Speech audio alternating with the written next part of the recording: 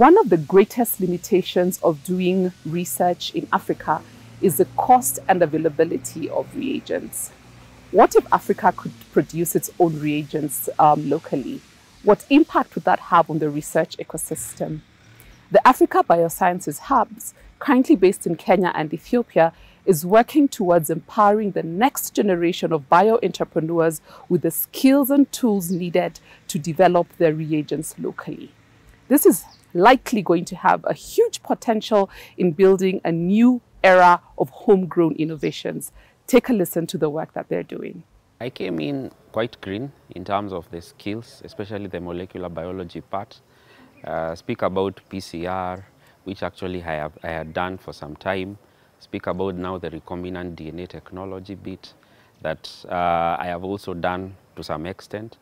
But now, even coming to a point where I can be able to produce my own enzymes in the lab, it's an experience that I have been taught throughout the five days that actually I was not able to know before, but right now I think I'm in a good place. I have gained so much experience on the how to produce your own enzyme, for example. Uh, we are producing OpenVent enzyme for PCR amplification.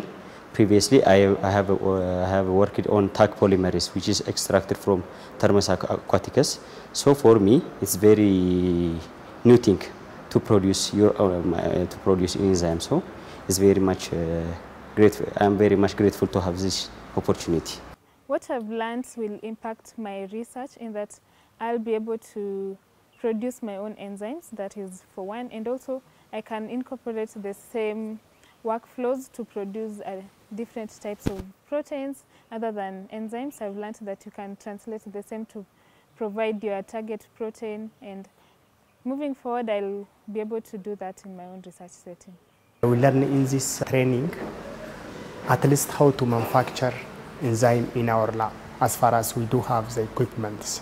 I have get confidence to produce my own reagents especially I know I need to produce the Taq polymerase as well as the cellulase because it is possible, the, the principle is the same. And uh, I will continue my PhD research for my dissertation, I hope. I've gained more experience just by the pipetting and uh, mixing reagents, transforming. I've also troubleshoot, uh, done some troubleshooting on cloning, which I tried before and didn't work, but it worked. So now I know some, uh, some, of the some of the techniques I can use to make sure that my reaction works. I've also, um, going forward, I know how to prepare now Taq. Now I will not have to wait for, uh, for, for the procurement team to tell me to wait three months before I can take, get Taq. Yet, in a week's time, I can prepare my own Taq and continue with my experiment. And it will not just benefit Mark alone, but will also benefit the team around me. The skills that I have obtained from this training will enable me to actually undertake my current to be able to do my current project. That's the first thing. The second thing, I've already, uh, they've already opened up my eyes to some of the things I'll be requiring, like the NBA per permit, that's the biosafety issues that I had not foreseen. I've already started considering some of the some of the things I could require.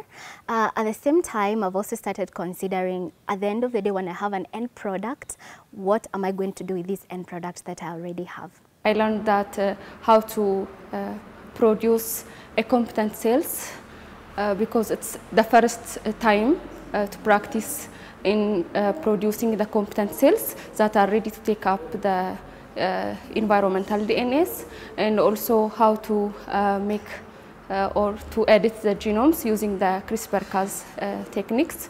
I really um, see a lot of use being trained at this frequency and then this large number it gives me uh, great hope because that was a missing link in our education, for example, because of lack of uh, uh, skilled manpower, lack of uh, uh, equipment in the laboratories. People uh, or the youth were only taking theoretical lessons in class. Now they are taking hands-on training on molecular aspects that will help them to create their own jobs as well as uh, even if employed to do their research um, in a good uh, way. The biggest problem we face is that like we cannot find items that we want, like reagents, especially media, some agars and broths. So we can we have to wait to to get them imported, and the Taq polymerase, the the reagents that we use for PCR, they took very long to be imported. The future for this training is we're hoping that those trainers taking this training will do the same thing to their institution. That's why we're trying to combine uh, them from different institutes. And Uh, finally, they're going to have their own Taq and some reagent that they prepare in this training. They will take it home and they can continue doing that and share their knowledge. And we have also a plan to do similar trainings, but next time it's not going to be in Addis, at some other institute. So we can gather another new participants, new trainers, and sharing this capacity and skill throughout the country. ISO Center through AfriBioHubs aims to empower scientists through trainings and mentorship to be able to think beyond the lab and to translate their research into commercializable products.